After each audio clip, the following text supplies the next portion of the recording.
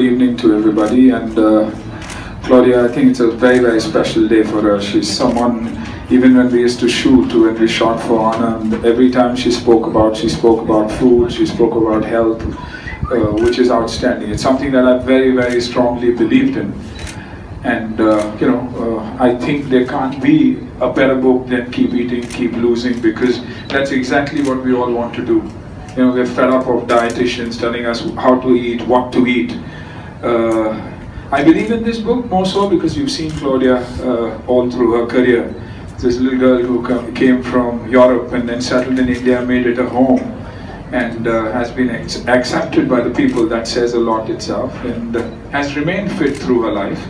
Uh, so when an author of a book uh, you know, is as fit as uh, she's trying to, uh, what she's trying to promote. I think it works brilliantly.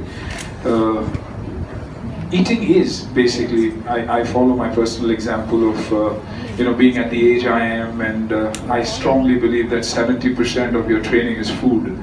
Uh, is what we eat. First of all, 70% is uh, basically about us mentally preparing ourselves to believe that yes, we can uh, get fit, and all of us have been God gifted with good bodies. It's only that we don't work towards it. 70% of that, like I said, is mind. Out of that 30%, 70% is food, and then is the, the kind of training that we do. So I believe uh, you know this book is a book that will help you all, and uh, congratulations. I'm sure it'll reach every home uh, you know, someone who believes in good health is, it, it's very simple. Someone who believes in good health is someone who gets up in the morning, opens the window and says, good morning God. And someone who's not into fitness stretches, wakes up, opens that window and says, good God, it's morning. That's the difference. It's a very simple line. So it's up to you what mood you get up with.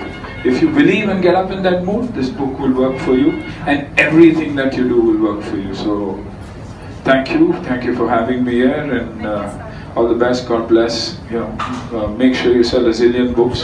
Yeah. Thank you.